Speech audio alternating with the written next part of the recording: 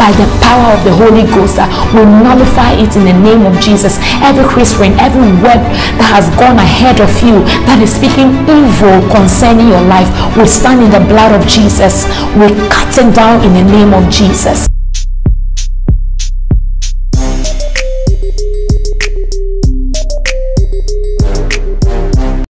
What's up, beautiful people? My name is Akuwaa. Thank you very much for joining me today. Now, if this is your first time seeing me, I'm a Ghanaian YouTuber coming to you live from Accra, Ghana. I am a woman of God. I'm a preacher of the gospel, a lover of Jesus Christ. Uh, and if you're a return subscriber, thank you very much for believing in this dream. So today, I want to talk to you about going back again.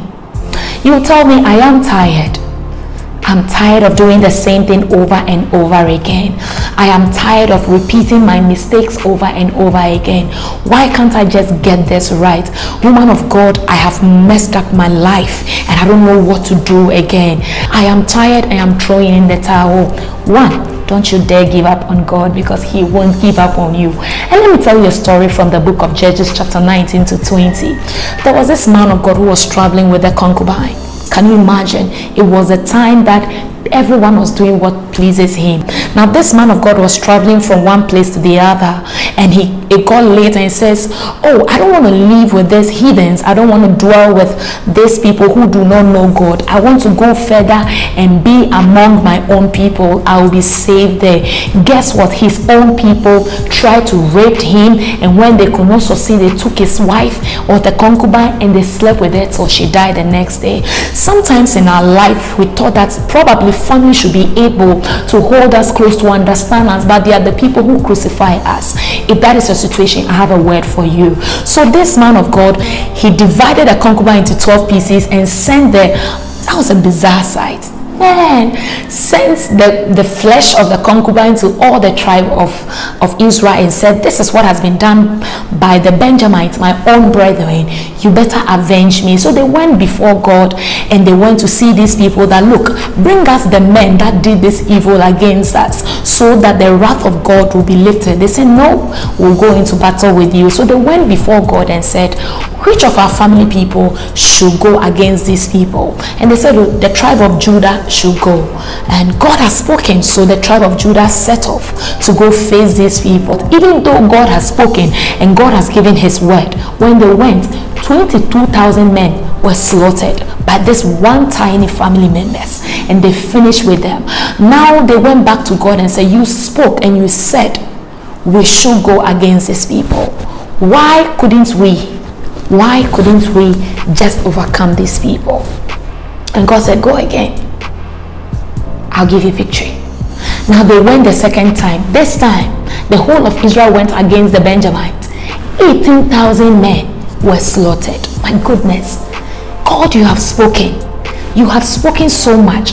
You said this marriage will succeed. You said this business will go well. You said this school will be able to finish. How come I am struggling? How come this man left my life? I thought this relationship should end in marriage. Why is this happening to me? Now I am led to the pregnancy that I did not budget for. And this man doesn't want to have anything to do with me. Why is this happening to me? They went back before God. This time on a fast with prayer, with supplication.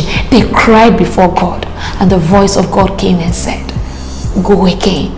Now, this time I will deliver them into your hand. When they went, battle was won. There are many times that prophecies has gone ahead of us. This year is going to be a wonderful year. This year is going to be this. You are going to do this. You're going to do this. You're going to do this. And guess what? Everything went down the drain. And you want to give up. I don't want you to give up on God because He will not give up on you. The Lord will have me to tell you, do it again. Do it again. That's school, go back again. That relationship, don't give up on it. Do it again. That marriage you want to walk out from, do it again. Try it again. This time, victory is coming. The Lord will give you victory over every challenge. That depression, you have fought it with medicine, you have fought it with prayer, you have fought it with the word of God. I declare over your life We come against every form of depression, every repetition of issues that never seems to go away by the power of the Holy Ghost. Uh, we nullify it in the name of Jesus. Every whispering, every word that has gone ahead of you that is speaking evil concerning your life, we stand in the blood of Jesus. We cut it down in the name of Jesus. The word of God today for you. Do it again, daughter of Zion. Do not give up on God.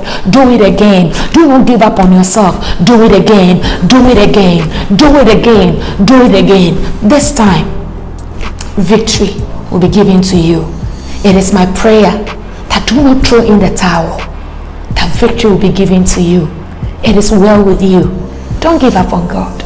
He will never give up on you. Victory is coming. Your help is coming.